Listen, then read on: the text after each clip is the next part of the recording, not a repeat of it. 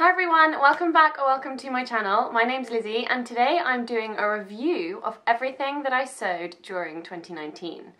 Happy New Year! It is New Year's Day when I'm filming this and I'm actually really quite impressed that I have managed to sit down and film this today because it's currently half past five and it's taken me this long to feel human enough to shower and put clothes on and set my camera up because yeah I celebrated a little bit too hard last night but I had a fantastic time and I hope you all did too so happy new year. And yeah I just thought it would be fun to just for memory's sake I guess run through everything that I've made this year or last year now because it's now the 1st of January 2020 um, so I'm going to put some pictures up on this side of the screen and just run you through everything that I made. So First up, the very first thing that I made was an outfit for my hen party and my hen party was actually not until March but I had a very slow start to all the sewing in 2019. Well not a slow start, it's just that I was busy. I was busy making my wedding dress. So the first three months of the year I did very little sewing other than my wedding dress. But I did manage to squeeze in a few things to take on my honeymoon and a few things and my hen party outfit. So I got married at the very beginning of April. So I had like January, February, March to do the wedding dress sewing. But I did manage to make my hen party outfit, which was a khaki green viscose crepe Vogue V9075 jumpsuit. And yeah, I enjoyed wearing it to my hen party. I wanted something fairly simple because we made these floral headdresses, head um, flower crowns, which was so much fun. But I will say this wasn't my most successful make of the year because it hasn't had that much wear out of it. The fabric's one that really has to be ironed like a lot and it's just, I'm gonna turn it into something else I think because it hasn't had the wear that it ought to have. Then the next thing that I made, of course, was my wedding dress which is by far my, you know, the most significant thing I've ever made. And, you know, obviously it's going to carry a lot of sentimental value, hopefully for the rest of my life. So that was a huge achievement and something that I would really encourage other engaged sewists to consider doing. And give yourself longer than three months because it was a bit of a stressful process for me. It was a fun process, an enjoyable process, but I do wish I'd had maybe another two months just so I could have taken it a little bit more slowly. But anyway, I managed to make a couple of things for my honeymoon, so I made a simple sew cocoon dress in Atelier Brunette Viscose. And this one I'm pleased with because it's a make that can be worn in the summer with bare legs and it's like nice and floaty because it's viscose. But actually if I wear it with a slip underneath, because of the colours, I can also wear it in the winter like with dark tights and like a black blazer over it and I can get away with wearing it to work. So that was a really good versatile piece, although I hate that it needs ironing a lot, but I guess that's a fact of viscose.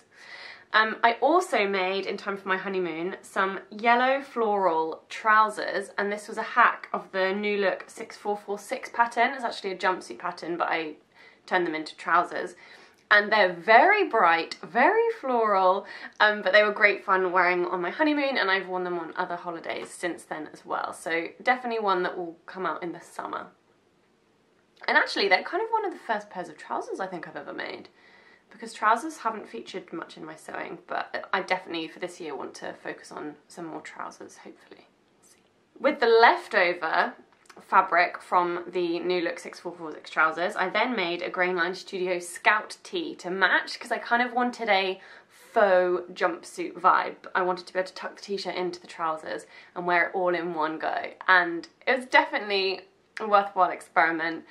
It's very bright very bright, but perfect for like a summer holiday or whatever. The next thing that I've made, I'm actually, I kind of, in a way, I'm actually even more proud of it than my wedding dress because I made a dress to wear for my, one of my really close friends' weddings this summer. And I had this beautiful fabric that I found from Fabric Godmother. And it was like, as soon as Fabric Godmother posted this fabric on her Instagram, I was on her website buying it because it was just one of those fabrics that I saw it and I just, it was just so beautiful. I have to have it. And that actually doesn't happen to me that often. I'm really quite fussy when it comes to fabrics. So for fabric to really speak to me like that, I've got to get it. And I wanted to make something really special to wear to this wedding and I wanted it to fit really well. And I'd learned from having made my wedding dress how valuable it is to take the time to make a toile, make your adjustments, you know, go back and change things if it's not right, and then make a garment that fits properly and that you've really taken the time to, to do it sort of in the best way you possibly can. And this dress, floaty, beautiful, satiny, and I am just so excited for another reason to wear it. It's because of the nature of the fabric, it's more one that will be like a summer dress, but I wore it to the wedding and I wore it several times throughout the rest of the summer, just on casual days as well as on like, you know, for special occasions. And I love it. It fits me better than any other garment I've ever made and I just, I'm really excited for next year to set myself the challenge of making another like special occasion wear dress that I really put the time and effort into. Oh, to tell you what it is, um, the, it's a hack of the the bodice is the Audrey dress from the famous Frocks Little Black Dress book, and then the skirt is actually a hack from the Vogue V9075 pattern. And I used, I wanted the pleats of the trousers, but as a skirt. So I actually have filmed for you guys how I did a hack to create the skirt with the pleats and, and how I did it. So I'll put that in the corner if you want to see it. Next, I made my very first swimsuit and I used the Megan Nielsen Cottesloe swimsuit pattern. I think so many people bought this year because it was just such a great pattern. And I used some leopard print swimsuit fabric from Minerva Crafts. I love it. It is, if I'm honest, it has ended up as being a wearable toile because I made it and then realised it was a bit too short in the body.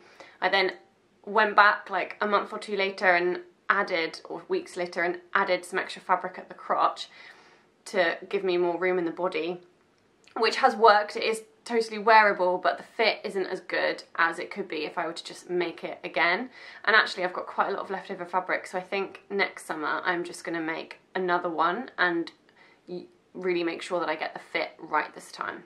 I added little ruffles to the hips of mine because I'm a little bit like top heavy. My shoulders are broader than my hips. I've got really like narrow hips and adding those little frills like balances my figure out really nicely and I'm so into into that whole thing of trying to work out okay how can I manipulate this pattern to make it work even better for my figure and to flatter my body type because we've all we're all totally different shapes and sizes and that's the beauty of dressmaking that we have the tools and the power and the knowledge and the skills to be able to adapt our clothes to be like the best that they can be for us and our taste and our figures and everything else. But I'm just so impressed. And actually, I was really intimidated by making swimwear, but it was genuinely really simple. Like, not scary at all. So if you haven't done swimsuit yet, if you haven't tackled swimsuits yet, pop it on your list for your, you know, sewing goals for 2020 because it's like really worth it. Next, I made some more New Look 6446 trousers. So again, it's, it's a hack of the jumpsuit and I made them in a navy blue viscose linen. They've actually, with hindsight, they're really too big for me.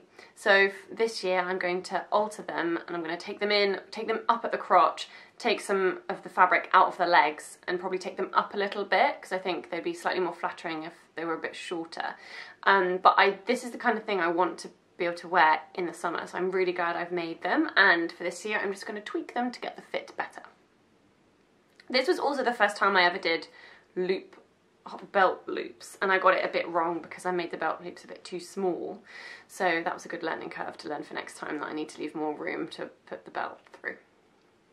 With the leftover fabric from those navy trousers I made a matching Ogden cami because again I'm just loving the summery like fake jumpsuit vibes.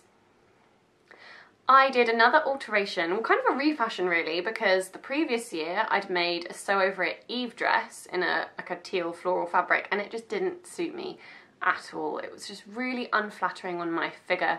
Wrap dresses I think are so good on like curvy women and like for example hourglass figures. Um, that's not what I meant, but yes, they look lovely on hourglass figures, but like pear shapes, so good on a pear shaped body type. And for me, I'm a bit straight up and down a slightly boyish figure and it just didn't do anything for me at all. So I refashioned it and turned it into a wrap skirt and then used the scraps. I literally like had to create the pieces by stitching pieces of fabric together and made an Ogden cami. So again, I've got like a faux dress, but actually it's an Ogden cami with a wrap skirt and I like that I can mix and match. I think it gives so much more versatility versatility than if it was just a dress because I can wear them on their own or with other things. The next thing that I made is a, I'm kind of moving now, you can see I did quite a lot of summer sewing and now it's going to move towards the wintry stuff and I've really had a good time this autumn and winter making jumpers, like the first time, well, actually no that's not true, I have made some Nina Lee Southbank sweaters before, but I had some purple ribbed fabric and I made a true bias Nikko dress, but I kind of hacked it to be more of like an oversized tunic. Well, it was supposed to be oversized, this purple one. Unfortunately, this is the only make from this year that is totally relegated to like the fail pile and will be going to a charity shop when I can check that my charity shop will accept it without a size label. If not, I need to put a size label in it but um, it's just too small. I didn't consider the fact that the the True Bias Nikko is sort of intended for very very stretchy jerseys and this was more of a heavyweight jersey with less stretch. So it's just too tight. It's too tight across the shoulders. It's not comfortable to wear and I'm just not I've barely worn it because of that. So unfortunately um, that one is is going to go to the charity shop. But hopefully someone else will get good use out of it um, but it wasn't all lost because I've since made a load more of those, of that like true bias a Nikko dress, oversized tunic hack. So I made it into like a tunic length so it just covers my bum and I can wear it like with leggings underneath. And I put a small slit at the sides so that I've got room to move my legs. It's obviously like quite an informal look and it's something I wear to be cozy at home as opposed to like out in a smart place. But so cozy. This is actually another one that I've made. So let me tell you about those. I also made another one in khaki, in like a khaki knit that I got from the um, new craft house. But this one, again, a really worthwhile experiment, but the fabric is very thin and, not thin, it's just a more lightweight jersey. And I didn't really factor in how that would affect it. So it is oversized and it's got the nice bagginess that I was after. Um, and I do wear it. I've been wearing it like once a week for, you know, since I've made it. But it then led me to make two more in this gorgeous cable knit fabric from, I got one lot of this fabric in navy blue from First for Fabrics and another lot of this fabric in this denim blue it's called from myfabrics.co.uk and ah, oh, this is like nailed it I ended up having to make the neck hole bigger because again the True Bias Nikko dress is designed for really thin, really stretchy jerseys and this has got less of a stretch so I needed to make the neck hole bigger and I didn't really want to do like guesstimation and I wasn't really sure how to sort of redraft it myself because I've never sort of learned those kind of skills yet. So I used the neckline from the Nina Lee Southbank sweater because that is designed for more like Ponte weight fabrics that, that would have a similar amount of stretch. So I traced off that neckline and then I used the neck band piece from the Nina Lee Southbank sweater as well.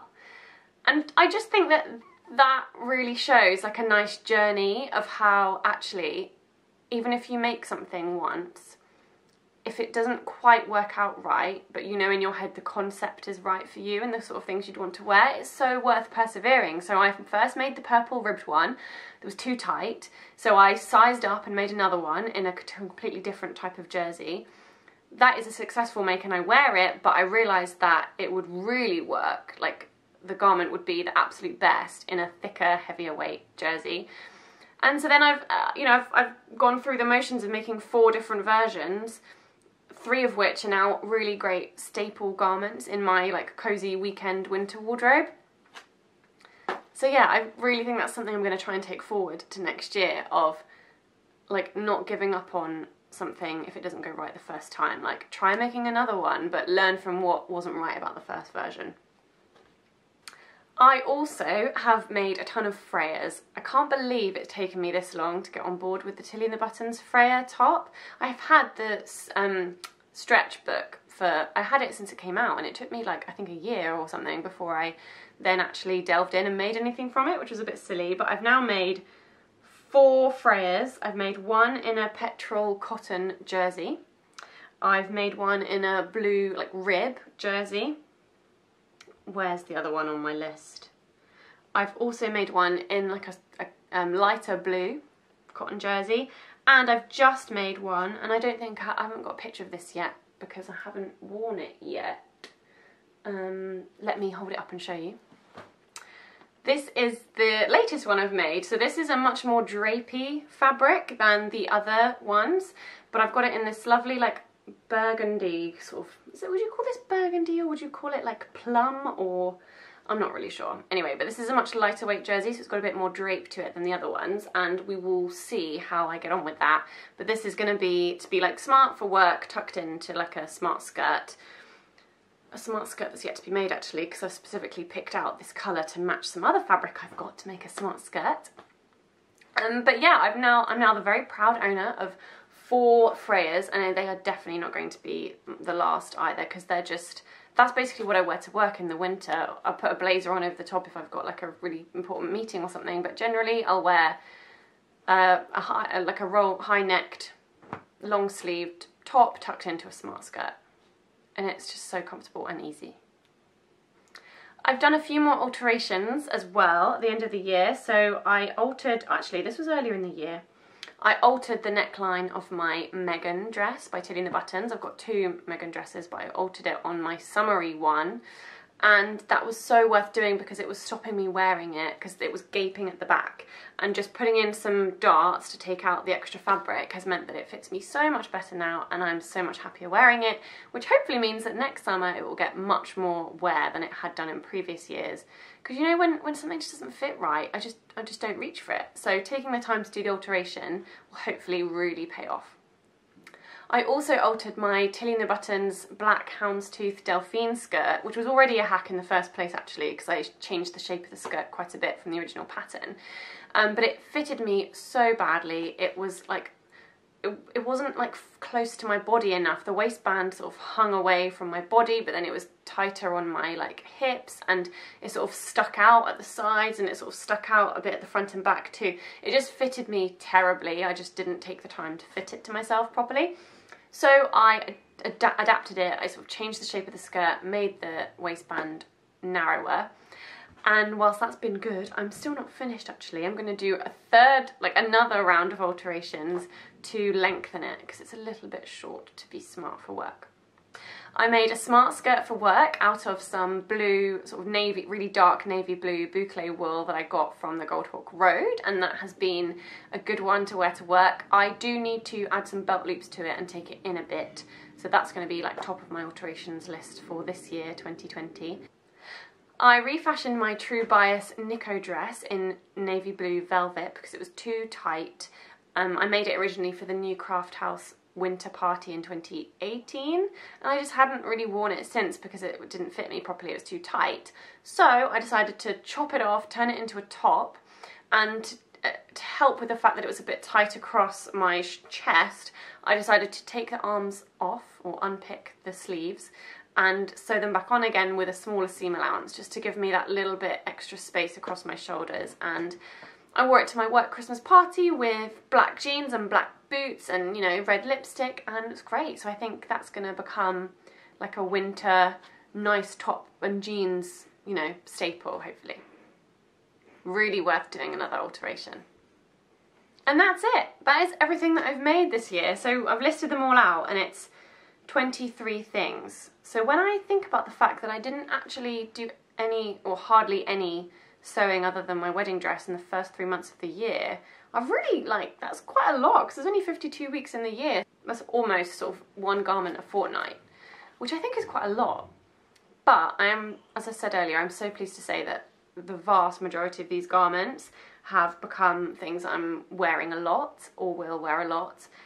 The thing that I've made the most of is the the Buttons Freyas, so I made four of those, and my True Bias Nikko oversized tunic hacks, whatever I'm going to call those. I made four of those and that's been great because those are actually things I really needed in my wardrobe, like tops and comfy, cozy weekend clothes.